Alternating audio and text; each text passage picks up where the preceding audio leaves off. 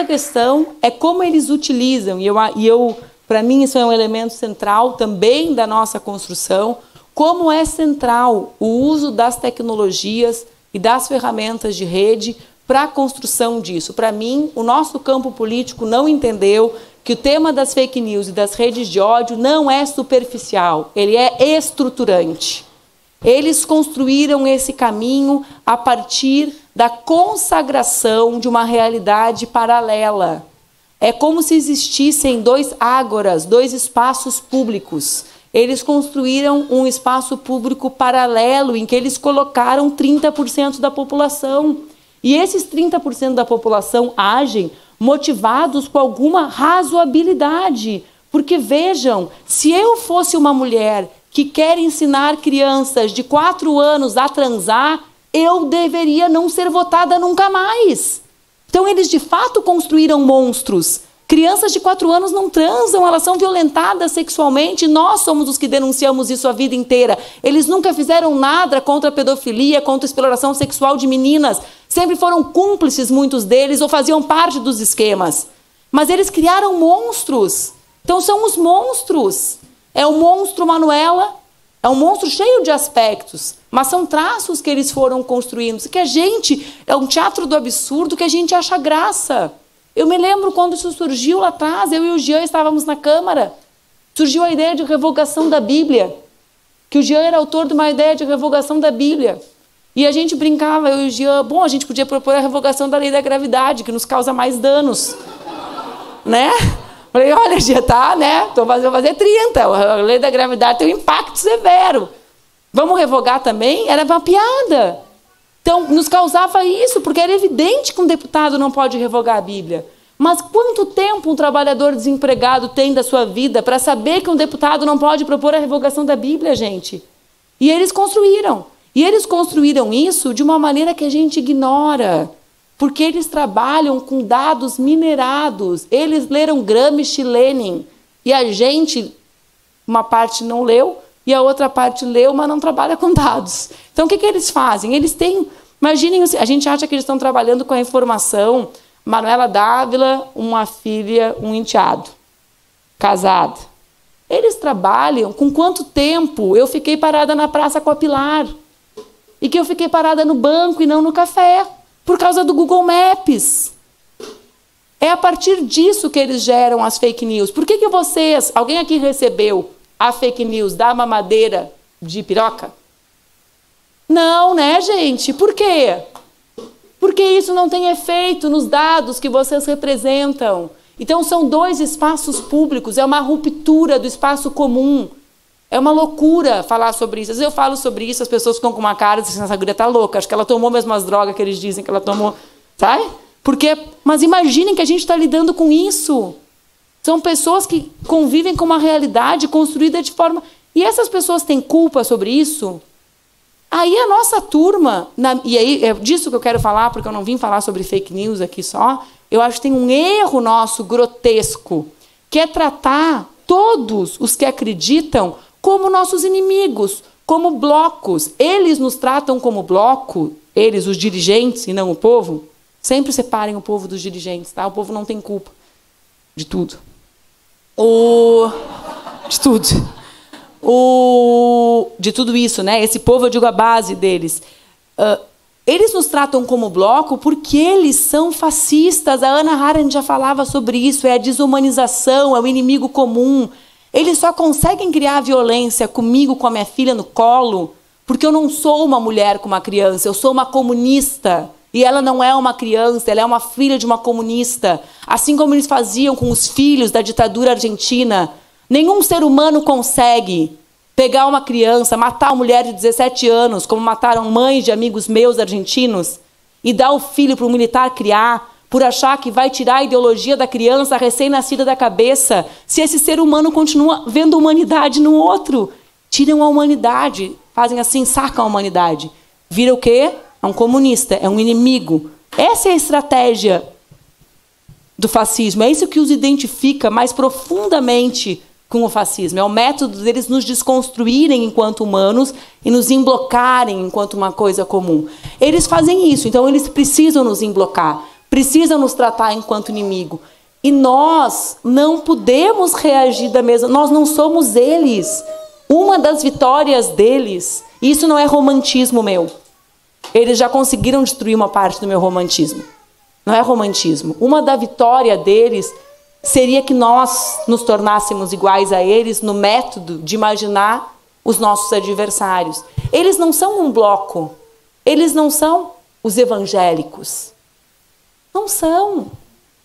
Eles têm os líderes, os vendilhões do templo, e eles têm um povo desempregado, que cresce a miséria, que é o mesmo povo que eu, como marxista, acredito que desde o início da obra ideológica que eu defendo, nós disputamos a chamada consciência de classe.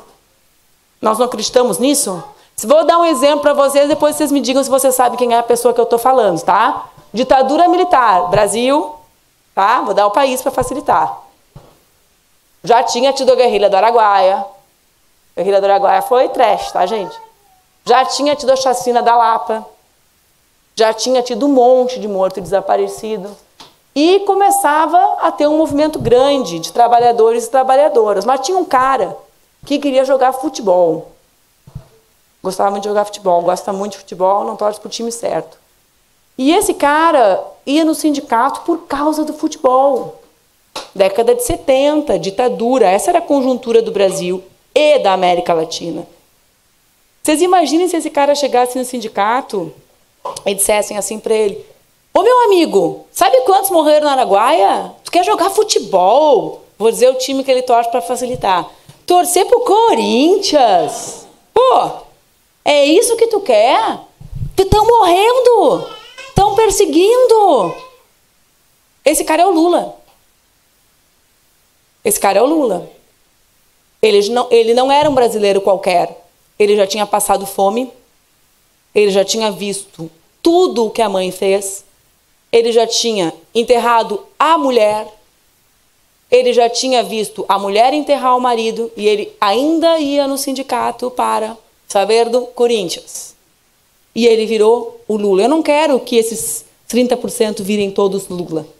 Mas se um momento dizem que foi a prisão do irmão, né, o gatilho, como a palavra da moda que nós usamos hoje, que despertou a consciência e que fez com que ele, com 30 anos, imaginem com 18, e que a gente pode ainda despertar de consciência alguém, com 30 anos, despertasse a consciência e se tornasse o maior líder popular do mundo vivo hoje. É o que ele é. Imagina como nós vamos desistir de uma pessoa que acredita em mentiras que são contadas e direcionadas para ela por uma máquina de um sistema mundial em crise, que está caindo de morto, que precisa buscar soluções para sobreviver. Gente, o mundo vive a sua maior crise. As últimas grandes crises da economia, as saídas foram as guerras, o nazifascismo. O Bolsonaro não é a única saída horrorosa que o mundo encontra para a crise. O Brasil não é o único país, não caiamos no papo da direita brasileira. O Bolsonaro é uma das saídas mais esdrúxulas, né? mais caricatas para a crise de um país. Evidente que é. É difícil imaginar que um outro pre presidente fale de cocô. Né? É difícil, né, gente? Ele podia parar de falar, porque cada vez que ele fala, já, ele podia usar a própria técnica, né? Aí imagina, só fala uma vez por dia, dia sim, dia não. Mas enfim, mas a gente precisa entender onde o Brasil está. O Brasil não está flutuando. Não é aquele doce uruguaio que chama espumas flotantes, que fica lá uma espuminha no meio de um monte de creminho. O Brasil não é isso. Essa crise é do mundo. Esse sistema está colapsado. Tem um barco com 120 pessoas aqui, a maioria criança, em nenhum país deixa o barco parar, gente. As crianças são iguais aos filhos de vocês. Os nossos filhos só são mágicos para a gente. Cada mulher que está lá dentro, o filho é igual que a tua filha é para ti. Eu fico desesperada. Fico imaginando cada. Alguém acha que uma mãe sai com a sua Laura para atravessar um oceano se não está desesperada? Mas eu não vou no supermercado com a minha filha com medo que ela apanhe desses loucos. Tu imagina atravessar um oceano? É disso que se trata, é dessa crise que a gente está falando. É nesse rolo que o Brasil está inserido. É nesse rolo que a prisão do Lula está inserido. São alternativas para essa crise desse mundo. É por isso que o bicho é tão feio. Porque não é um problema só nosso.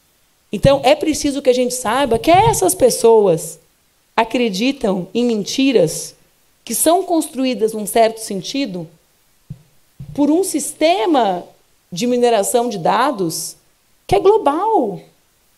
Porque é, foi casual, né, gente? É Brexit, Brasil, é tudo, tudo coincidência, assim. Negócio casual. Trump, né? É, foi uma interferência. Então, é preciso que a gente compreenda e como isso é determinante na construção do fascismo brasileiro na construção desse pensamento da extrema-direita. Porque se a gente não consegue, não consegue compreender isso, a gente segue tratando isso como um elemento menor. Mas o que justifica essa violência, eu nunca sofri violência na rua por nada real. Nunca. A pessoa podia um dia me agredir por um voto meu, né? Podia lá um dia na rua me dizer, tu fez um projeto, tá? Podia? Nunca.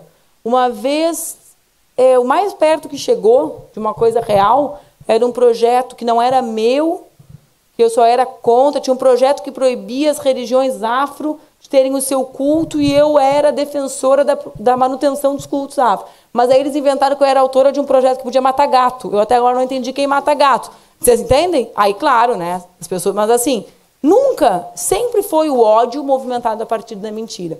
Então, primeiro, o o nível de autoritarismo, segundo, como isso é estruturado, como é global, como é profunda a crise. Isso eu falo também para nos acalmar, sabe? É horrível, mas isso também faz com que o Bolsonaro tenha um tamanho no mundo.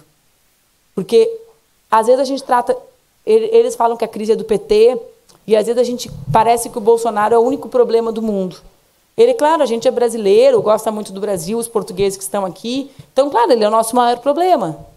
Mas se a gente fixa que ele é o problema, só ele é o problema, a gente não consegue entender que a solução é a construção de uma alternativa que passe pelo enfrentamento dessa crise, que não é só brasileira. Porque senão fica difícil mesmo, né? Parece que tá, o que aconteceu com o Brasil, que está ali esse homem agora? Não, né? É um sistema que parece estar apontando como a sua saída a administração, o chamado necrocapitalismo, né? a administração de quem vai viver e quem vai morrer.